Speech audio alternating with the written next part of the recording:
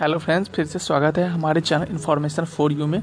तो दोस्तों, आज मैं फिर एक नई जानकारी के साथ आप लोगों के बीच उपस्थित हूँ। ये जॉब जो मैं बता रहा हूँ, ये बिहार से रिलेटेड है। बिहार में ये वैकेंसी आई है। इसका लास्ट डेट कब है? कब से ये फॉर्म भरा जाएगा? और किस तरह ये फॉर्म भराएगा? ऑनलाइन है या ऑफलाइन है?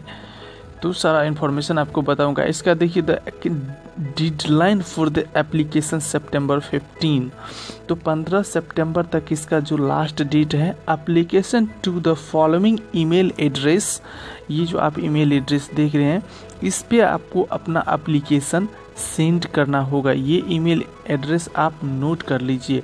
R E G I S T R A R C N L U at the rate Gmail dot com तो ये वो ईमेल है जहाँ पे आपको अपना अप्लीकेशन फॉर्म भेजना है। उसके बाद, अगर आप अप्लीकेशन फॉर्म भेजने के बाद यहाँ देखिए only short listed candidate will be contacted for the interview उसके बाद एडमिनिस्ट्रेशन आपको शॉर्ट लिस्ट करेगा मार्क बेसिस से जो भी उसका प्रोसेस है, उसके हिसाब से कैंडिडेट को शॉर्ट लिस्ट करेगा। उसके बाद इंटरव्यू के लिए बुलाएगा।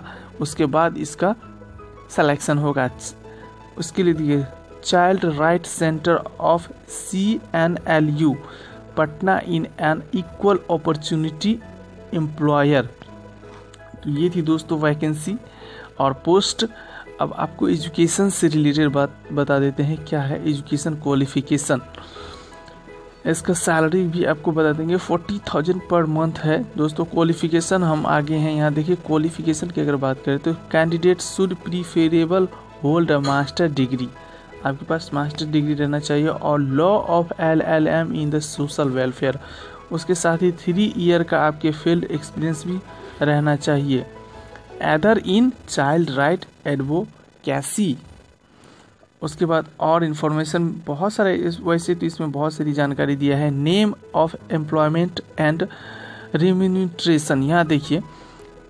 कॉन्टेक्चुअल बेसिस है दोस्तों ये। The centre coordinator is required to work in full time basis यहाँ देखिए फोर्टी थाउज़ेंड यानी कि चालीस हज़ार रुपये पर मंथ आपको यह सैलरी मिलेगा। ये नोटिफिकेशन आ जाता है दोस्तों। उसके बाद एक्टिविटी टू अंडरटेकिंग आपको क्या क्या करना है? सारा इन्फॉर्मेशन इसमें दिया हुआ है। आप ये पढ़ सकते हैं। दोस्तों, अगर आप ये फॉर्म भरना चाहते हैं तो मैं प्रीफर करूँगा कि सबसे पहले आप पूरी तरह से ये नोटिफिकेशन पढ़ लीजिए। फ्रॉम वेबसाइट से डाउनलोड कर लीजिए। उसके बाद टर्म्स ऑफ़ रेफरेंस भी आपको बहुत ज़रूरी है पढ़ना। पूरी जानकारी देने में हमको बहुत टाइम लग जाए, इसलिए शॉर्ट वीडियो बनाता हूँ ताकि आप लोगों को जानकारी मिले और खुद से ये वेबसाइट से आप भी कर सकते हैं। उसके बाद दूसरा वैकेंसी भी इसमें है, जो आप सेकेंड वैकेंसी की क्वालिफिकेशन की बात करें तो उसके लिए भी master in the social welfare any other stream in social science three year experience मांग रहा है। इसके लिए जो सैलरी है दोस्तों, इसके लिए पच्चीस हज़ार प्रति मंथ सैलरी है। और ये फुल टाइम बेसिस पे है।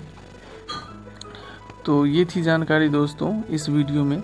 अगर आपको कोई सुझाव या शिकायत है तो ज़रूर कमेंट करें और मेरे चैनल को दोस्तों सब्सक्राइब नहीं किए हैं तो ज़रूर सब्सक्राइब कर लीजिए। किसी भी स्टेट की कोई भी वैकेंसी हो, सबसे पहले आपको यहाँ पे अपडेट की जाती है।